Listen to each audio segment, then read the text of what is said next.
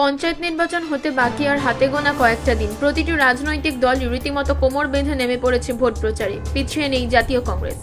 জাতীয় কংগ্রেসের পক্ষ থেকে নির্বাচনী প্রচারের ঝড় তুললেন কংগ্রেস মনোনীত প্রার্থীরা। রবিবার বিকেল বেলা হবিবপুর ব্লকের আইহো গ্রাম পঞ্চায়েতের খোস বাঁশপাড়া ও ধোবাপাড়া ও বাবুপাড়ায় বুথে বুথে জোরদার প্রচার চালাচ্ছেন কংগ্রেস প্রার্থীরা। অঞ্জনা দাশগুপ্ত একশো সাঁত্রিশ নং বুথের এগারোর তেরো ভারতী সরকার একশো পঁয়ত্রিশ নং বুথের নয়ের দশ, দীপক সাহা একশো আটত্রিশ নং বুথের বারোর পনেরো, সঙ্গীতা প্রামাণিক একশো আটত্রিশ নং বুথে বারোর চোদ্দ এবং হবিবপুর পঞ্চায়েত সমিতির পঁচিশ নং আসনে কংগ্রেস মনোনীত প্রার্থী আইনুল ইসলাম একসাথে সব প্রার্থী নির্বাচনী প্রচার চালালেন এবং বাড়ি বাড়ি গিয়ে কেন্দ্র সরকারের ব্যর্থতা ও রাজ্য সরকারের দুর্নীতি তুলে ধরে হাত চিহ্নে ভোট দেওয়ার আহ্বান জানান। জাতীয় কংগ্রেস জিন্দাবাদ। কংগ্রেস প্রার্থীকে দিকে দিকে হাত চিহ্নে ভোট দিন। কংগ্রেস প্রার্থীতে হাত চিহ্নে ভোট দিন। মানুষের কাছে এক কথাই বলছি যে বিগত যে পঞ্চায়েত ছিল, এই পঞ্চায়েত কোনো উন্নয়নমূলক কোনো কাজ হয়নি।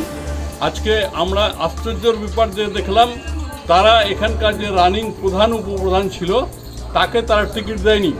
এই টিকিট না দেওয়ার প্রমাণ করছে যে তারা হয় কাজ করতে পারেনি আর না হলে তারা তাদের কাছ থেকে টাকা পয়সা বেশি তার টাকা দিতে পারেনি। আজকে সেই জন্য তাদেরকে প্রার্থী পদ দেয়নি।